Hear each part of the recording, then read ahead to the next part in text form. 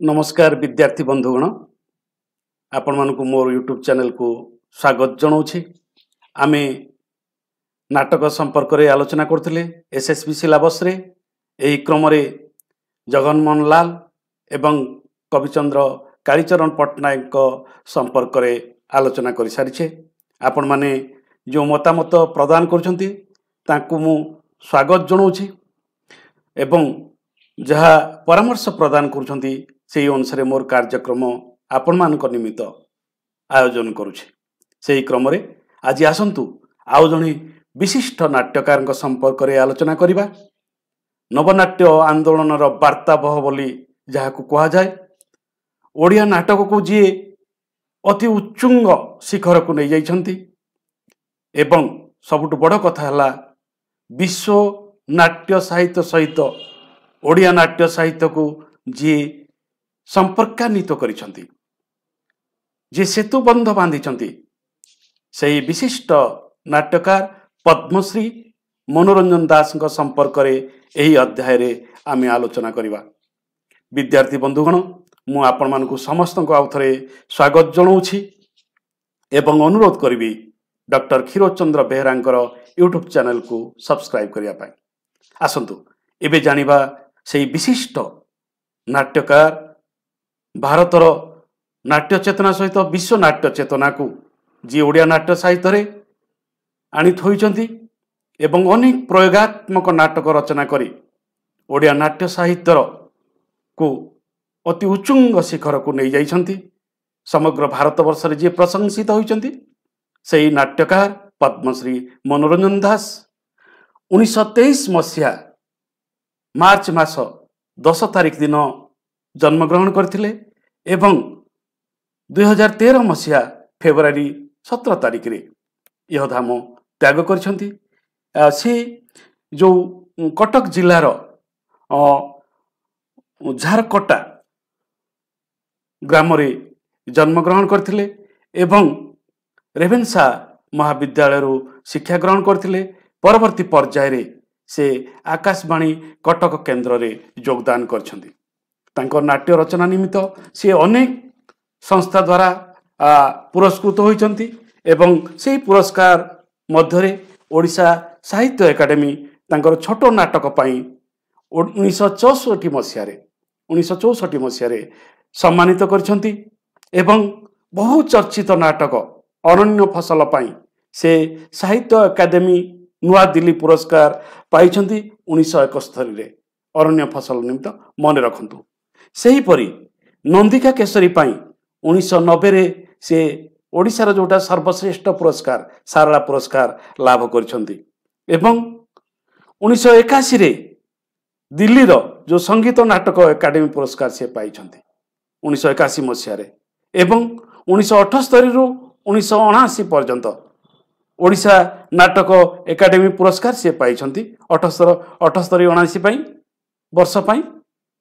ଉଣେଇଶହ ଅଠସ୍ତରୀ ଅଣାଅଶୀ ବର୍ଷ ପାଇଁ ସେ ଓଡ଼ିଶା ସଙ୍ଗୀତ ନାଟକ ଏକାଡେମୀ ପୁରସ୍କାର ପାଇଛନ୍ତି ଏବଂ ଦୁଇହଜାର ଚାରି ବର୍ଷ ପାଇଁ ଓଡ଼ିଶା ସାହିତ୍ୟ ଏକାଡେମୀର ସର୍ବୋଚ୍ଚ ସମ୍ମାନ ମର୍ଯ୍ୟାଦା ପ୍ରାପ୍ତ ସମ୍ମାନ ଅତି ବଡ଼ି ଜଗନ୍ନାଥ ଦାସ ପୁରସ୍କାର ସେ ପାଇଛନ୍ତି ଉଣେଇଶହ ଦୁଇ ହଜାର ଚାରି ମସିହାରେ ଏବଂ ତାଙ୍କୁ ଦୁଇହଜାର ଚାରିରେ ଦୁଇହଜାର ଚାରିରେ ଭାରତ ସରକାର ପଦ୍ମଶ୍ରୀ ସମ୍ମାନରେ ସମ୍ମାନିତ କରିଛନ୍ତି ଏ ସବୁଠାରୁ ଗୌରବର ବିଷୟ ସେ ଯେଉଁ ନାଟକ ଗୁଡ଼ିକ ରଚନା କରିଛନ୍ତି ତାଙ୍କର ପ୍ରଥମ ନାଟକର ନାଁ ହେଉଛି ରାତ୍ରି ଯାହା ଉଣେଇଶହ ବୟାଳିଶ ମସିହାରେ ଅଭିନୀତ ହୋଇଥିଲା ରଚିତ ହୋଇଥିଲା।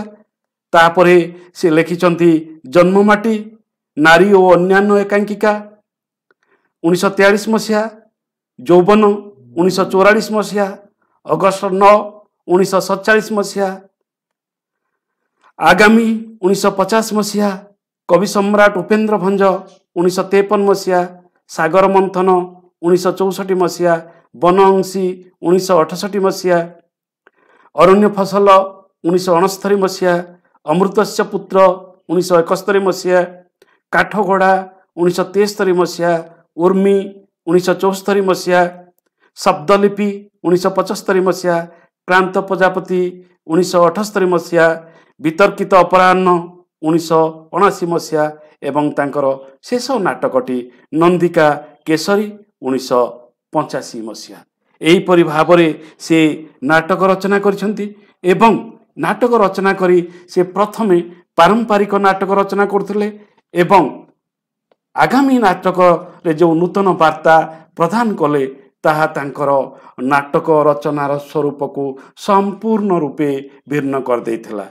ବିଦ୍ୟାର୍ଥୀ ବନ୍ଧୁଗଣ ଆପଣମାନଙ୍କୁ ମୁଁ କହିଦେବା ପାଇଁ ଚାହୁଁଛି ଯେତେବେଳେ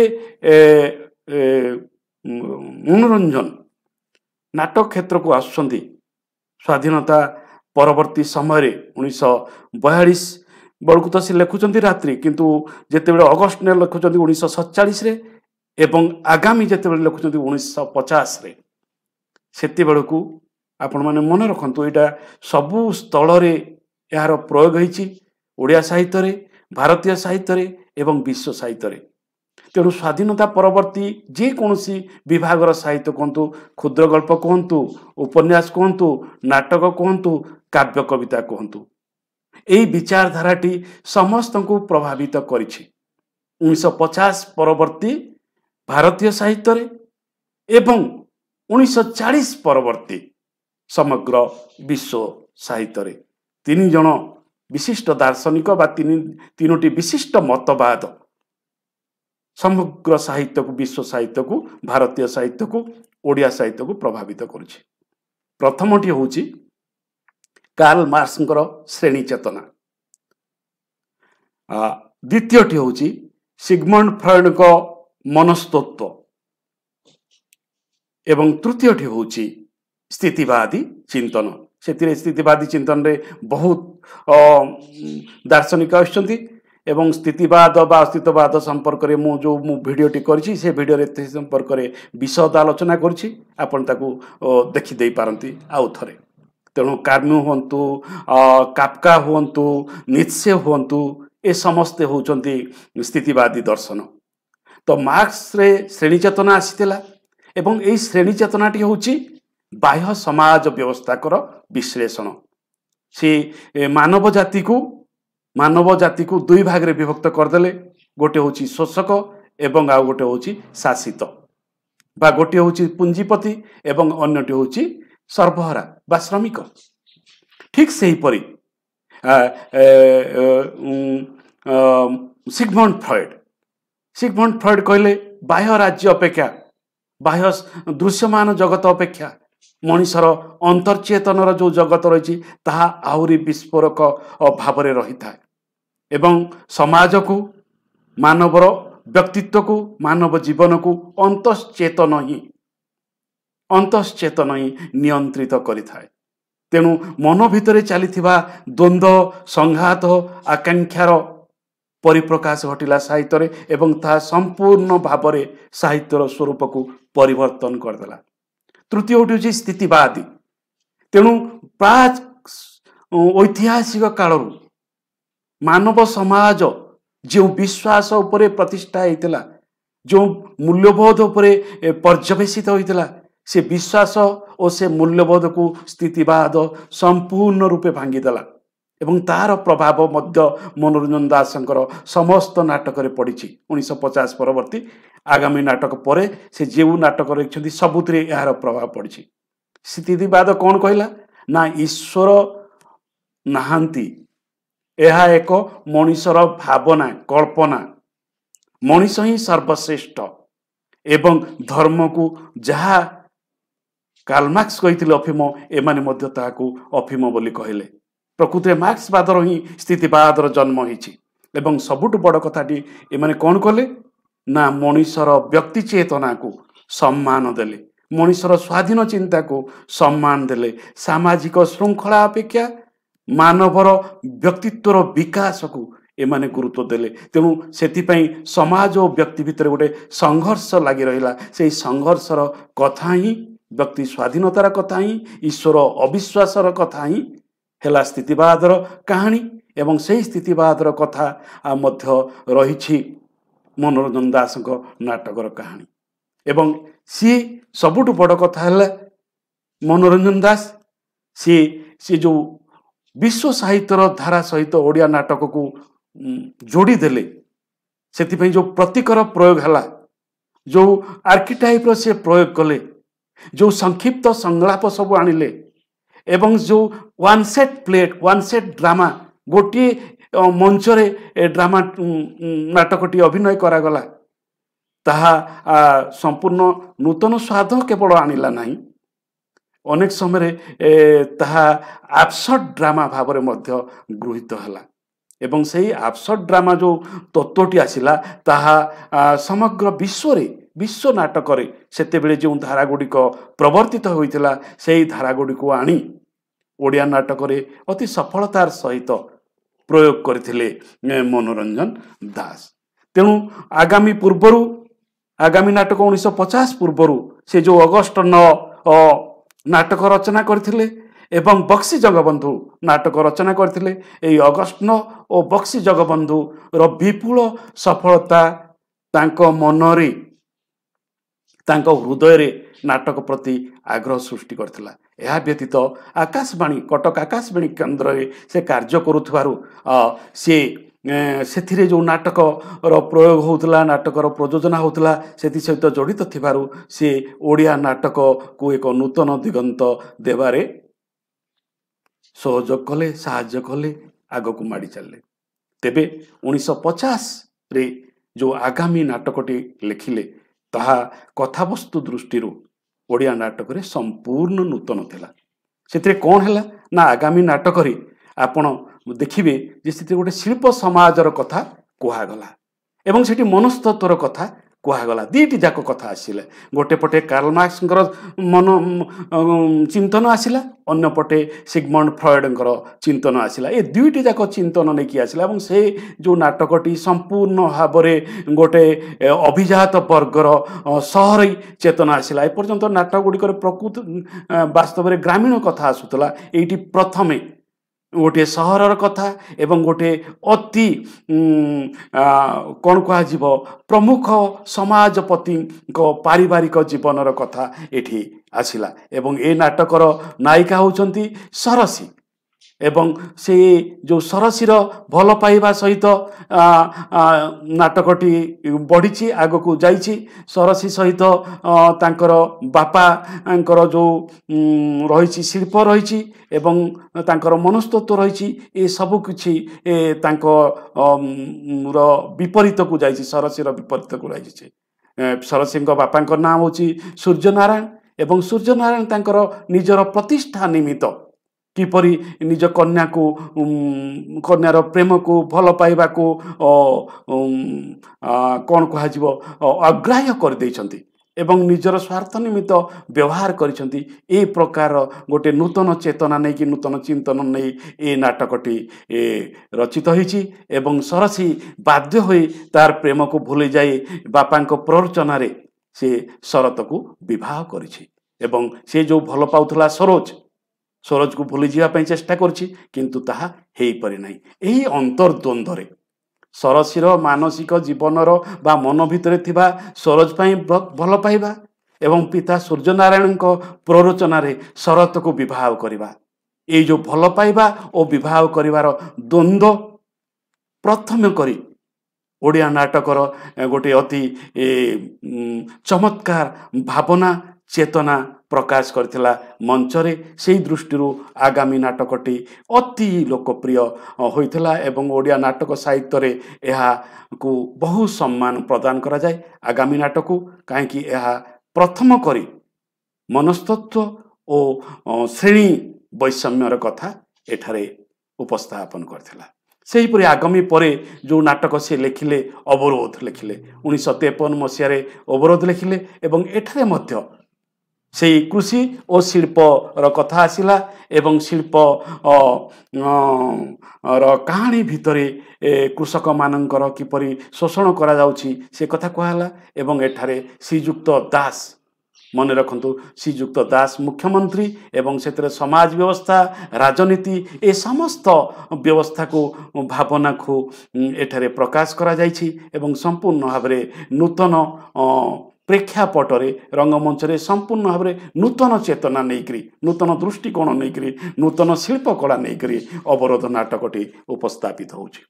ପରବର୍ତ୍ତୀ ପର୍ଯ୍ୟାୟରେ ସେ ବନହଂସୀ ଉଣେଇଶହ ଅଠଷଠି ଅରଣ୍ୟ ଫସଲ ଉଣେଇଶହ ଅଣସ୍ତରୀ ଅମୃତ ସପୁତ୍ର ଉଣେଇଶହ ଏକସ୍ତରୀ କାଠଗୋଡ଼ା ଉଣେଇଶହ ଚଉସ୍ତରୀ ଉର୍ମି ଉଣେଇଶହ ପଚସ୍ତରୀ ଶବ୍ଦଲିପି ଉଣେଇଶହ ଛଅସ୍ତରୀ ଏ ସମସ୍ତ ନାଟକ ଗୁଡ଼ିକରେ ଆଧୁନିକ ଜୀବନର ବା ସ୍ୱାଧୀନତା ପରବର୍ତ୍ତୀ ଜୀବନର ନୈରାଶ୍ୟବୋଧ ଏବଂ ବ୍ୟକ୍ତି ସ୍ୱାତନ୍ତ୍ରତା ଏବଂ ଯୌନ ପ୍ରବୃତ୍ତି।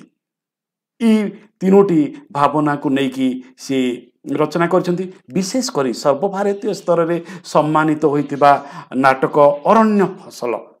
ଅରଣ୍ୟ ଫସଲରେ ସେ ପ୍ରଥମେ ଯୌନ ଭାବନାକୁ ମଣିଷର ଯୌନ ବେଗକୁ ସେ ପ୍ରତୀକାତ୍ମକ ଭାବରେ ଅତି ପ୍ରତୀକାତ୍ମକ ଭାବରେ ସେ ପ୍ରକାଶ କରୁଛନ୍ତି। ଅରଣ୍ୟ ଫସଲର ସେଟ୍ଟି ବା ଅରଣ୍ୟ ଫସଲର କାହାଣୀଟି ଗୋଟିଏ ଅରଣ୍ୟ ଭିତରେ ଥିବା ଗୋଟିଏ ଡାକ ପଙ୍ଗଳା ଭିତରେ ଘଟିଛି ଏବଂ ସେଇଠି ତିନୋଟି ପରିବାରଙ୍କ ଆସିଛନ୍ତି। ଗୋଟିଏ ପଟେ ନାୟକ ସଂଗ୍ରାମ ଅନ୍ୟପଟେ ଲିଲି ଅନ୍ୟପଟେ ମିଷ୍ଟର ବର୍ମା ଅନ୍ୟପଟେ ବେବି ଏହିପରି ଚରିତ୍ରମାନଙ୍କ ଭିତରେ ପରସ୍ପର ପରସ୍ପର ପ୍ରତି ଆକର୍ଷଣ ଏବଂ ପାରିବାରିକ ବା ଦାମ୍ପତ୍ୟ ଜୀବନ ବାହାରେ ଯେଉଁ ପ୍ରେମ ରହିଛି ଯେଉଁ ଯୌନ ଭାବନା ରହିଛି ତାହାର ପରିପ୍ରକାଶ ଘଟିଛି ଏବଂ ସଂଗ୍ରାମ ଚରିତ୍ର ମାଧ୍ୟମରେ ଗୋଟିଏ ମୁକ୍ତ ଜୀବନର କଥା କହିଛନ୍ତି। ସଂଗ୍ରାମ ହେଉଛି ଅରଣ୍ୟ ଫସଲର ନାୟକ ମୁକ୍ତ ଜୀବନର କଥା ସେ କହୁଛନ୍ତି। ଏବଂ ସବୁଠୁ ବଡ଼ କଥା ହେଉଛି ଏ ନାଟକରେ ଛେଳି ଛେଳିକୁ ଗୋଟିଏ ସିମ୍ବଲ ପ୍ରତୀକ ଭାବରେ ଏଠାରେ ବ୍ୟବହାର କରାହେଉଛି ଏବଂ ସିଏ ଯେଉଁ ସଂଳାପ ଗୁଡ଼ିକ ଅତି ପ୍ରତୀକାତ୍ମକ ଏବଂ ଛେଳିଟି ଯେଉଁ ମେ ମେ ମେ ମେ ଶବ୍ଦ କରୁଛି ସେଇ ମେ ମେ ଶବ୍ଦକୁ ଯୌନାବେଗର ପ୍ରତୀକ ଭାବରେ ସେ ବ୍ୟବହାର କରିଛନ୍ତି। ସମ୍ପୂର୍ଣ୍ଣ ଭାବରେ ନୂତନ ମଞ୍ଚ ସଜ୍ଜାରେ ଏ ନାଟକଟି ଓଡ଼ିଆ ନାଟକର ମଞ୍ଚ ସଜାକୁ ପରିବର୍ତ୍ତନ କରିଦେଇଛି। Subrat Barma Lily Baby Sangram. ପରସ୍ପର ପରସ୍ପର ମଧ୍ୟରେ ରହିଥିବା ଅବୈଧ ଶାରୀରିକ ସମ୍ପର୍କକୁ ନେଇକି ଏ ନାଟକଟି ରଚିତ ହୋଇଛି। ତେଣୁ ପାରମ୍ପାରିକ ଆମର ଓଡ଼ିଆ ସମାଜରେ ଏ ପ୍ରକାର କାହାଣୀ ପ୍ରାୟତଃ ଦେଖାଯାଇ ନଥିବା ସମୟରେ ୟୁରୋପୀୟ ସାହିତ୍ୟରେ ବ୍ରିଟିଶ ସାହିତ୍ୟରେ ବିଶ୍ୱ ସାହିତ୍ୟରେ ଏ ପ୍ରକାର ଯେହେତୁ କାହାଣୀ ବର୍ଣ୍ଣନା ରହିଛି ତାହାକୁ ଆଧାର କରି ଓଡ଼ିଆ ନାଟକକୁ ଏହା ଆଣିଛନ୍ତି ଏବଂ ଏଥିପାଇଁ ଅନେକ ସାହିତ୍ୟ ସମାଲୋଚକ ନାଟ୍ୟ ସାହିତ୍ୟ ସମାଲୋଚକ ମନୋରଞ୍ଜନ ଦାସକୁ ମଧ୍ୟ ସମାଲୋଚନା କରିଛନ୍ତି ଯେ ସିଏ ଯେଉଁ କାହାଣୀ ଆଣିଛନ୍ତି ସେଗୁଡ଼ିକ ଆମ ଭାରତୀୟ କାହାଣୀ ନାହିଁ ଓଡ଼ିଶାର ପାରିବାରିକ ସାମାଜିକ ଜୀବନର କାହାଣୀ ନୁହେଁ। ତେଣୁ ଏହିପରି ଭାବରେ ସେ ସମାଲୋଚିତ ହୋଇଥିଲେ ମଧ୍ୟ ନବ ମାନେ କ'ଣ କୁହାଯିବ ଯେଉଁ ନବନାଟ୍ୟ ଆନ୍ଦୋଳନକୁ ଓଡ଼ିଆ ସାହିତ୍ୟରେ ଅତି ସଫଳ ଭାବରେ ବ୍ୟବହାର କରିଛନ୍ତି। ସେହିପରି ଉର୍ମି ଉର୍ମି ନାଟକରେ ଦୁଇଟି ତତ୍ତ୍ୱ ହେଇଛି। ଗୋଟିଏ ହେଉଛି କମେଡ଼ି ଏବଂ ଅନ୍ୟଟି ହେଉଛି ଟ୍ରାଜେଡ଼ି। ତ କମେଡ଼ି ଓ ଟ୍ରାଜେଡ଼ିର ଭାବନାରେ କାହାଣୀ କମେଡ଼ି ଓ ଟ୍ରାଜେଡ଼ିର ରସରେ ଏ ସେ ନାଟକଟିକୁ ସେ ତିଆରି କରିଛନ୍ତି।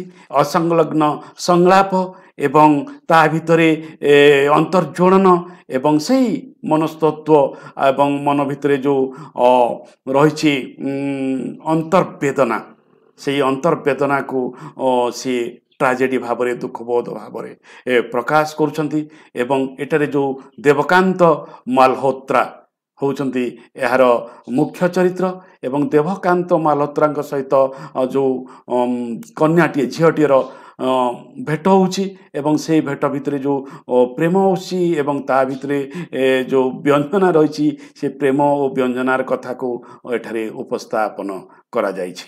ଶବ୍ଦଲିପି ମଧ୍ୟ ସେହିପରି। ଏଥିରେ ଦାମ୍ପତ୍ୟ ଜୀବନରେ ଯେଉଁ ଅମେଳ ରହିଛି। ଦାମ୍ପତ୍ୟ ଜୀବନରେ ଯେଉଁ ବିଭେଦ ରହିଛି ଏବଂ ସ୍ୱାମୀ ସ୍ତ୍ରୀ ଭିତରେ ଯେଉଁ ସ୍ୱାଧୀନତା ରହିଛି ସ୍ୱାଧୀନ ଚିନ୍ତନ ରହିଛି ଯେଉଁଗୁଟା ମୁଁ ସ୍ଥିତିବାଦୀ ଏ ଦର୍ଶନ କଥା କହୁଥିଲି ସେଇ ସ୍ଥିତିବାଦୀ ଦର୍ଶନର କଥା ଶବ୍ଦଲିପି ନାଟକରେ ଆସିଛି ରୀତା ଏବଂ ରଘୁନାଥ ବିପ୍ଳବୀ ରଘୁନାଥ। ଏଇ ଯେଉଁ ଉଁ, ଚରିତ୍ର ତା ସହିତ ପାର୍ଥ।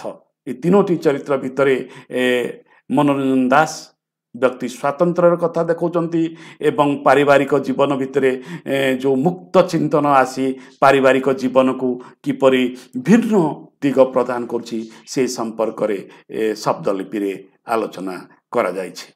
ଏସବୁ ବ୍ୟତୀତ ସବୁଠୁ ଯେଉଁ ଚର୍ଚ୍ଚିତ ନାଟକ ହେଉଛି ତାଙ୍କର ସବୁଠାରୁ ଚର୍ଚ୍ଚିତ ନାଟକ ସେ ହେଉଛି ବନହଂସୀ। ବନହଂସୀ ନାଟକକୁ ଓ ବିଭିନ୍ନ ସମାଲୋଚକ ବିଭିନ୍ନ ଭାବରେ ଆଲୋଚନା କରିଥାନ୍ତି। କିନ୍ତୁ ସବୁଠୁ ଶ୍ରେଷ୍ଠ ଆଲୋଚନାଟି କରିଛନ୍ତି ଦାଶରଥୀ ଦାସ। ଦାଶରଥୀ ଦାସ ତାକୁ କହୁଛନ୍ତି ଅଭିବ୍ୟକ୍ତିବାଦୀ ନାଟକ। ମନେ ରଖିଥାନ୍ତୁ ଏଇଠି ହୁଏତ ଅନେକ ସମୟରେ ପ୍ରଶ୍ନ ଆସିପାରେ। ବନହଂସୀ ନାଟକକୁ ଦାଶରଥୀ ଦାସ କହୁଛନ୍ତି ଅଭିବ୍ୟକ୍ତିବାଦୀ ନାଟକ।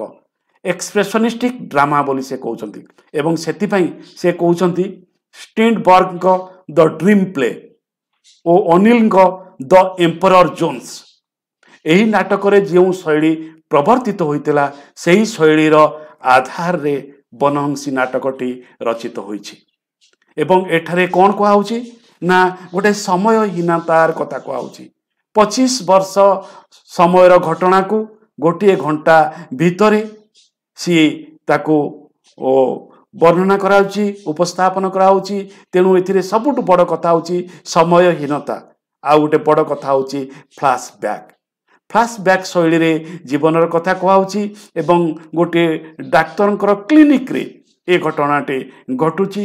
ପଚିଶ ବର୍ଷର ଅତୀତ ବର୍ତ୍ତମାନ ଓ ଭବିଷ୍ୟତକୁ ସେମାନେ ଗୋଟିଏ ସରଳ ରେଖାରେ ରହୁଛନ୍ତି ଏବଂ ସେଥିରେ ଯେଉଁ ଡାକ୍ତର ପ୍ରବ୍ରିୟା ସିଏ ହେଉଛନ୍ତି ମୁଖ୍ୟ ଚରିତ୍ର ଏବଂ ଯିଏ ଉଷା ଦେବୀ ସିଏ ହେଉଛନ୍ତି ନାୟିକା ଏବଂ ତାଙ୍କର ସ୍ୱାମୀ ସନ୍ତୋଷଙ୍କର ଶର୍ମା ସନ୍ତୋଷ ଶର୍ମାଙ୍କର ମୃତ୍ୟୁ ଘଟିଛି ଏବଂ ସେହି ମୃତ୍ୟୁ ଘଟିବା ପରେ ପ୍ରବିୟା ଚୌଧୁରୀ ଉଷା ଦେବୀଙ୍କୁ ଭଲ ପାଇ ବସୁଛନ୍ତି ଏବଂ ଦୁଇ ଜଣ ଯାକ ଗୋଟିଏ ପ୍ରେମ ଜୀବନ ଯାପନ କରିବା ପାଇଁ ଆଗ୍ରହ ପ୍ରକାଶ କରୁଛନ୍ତି।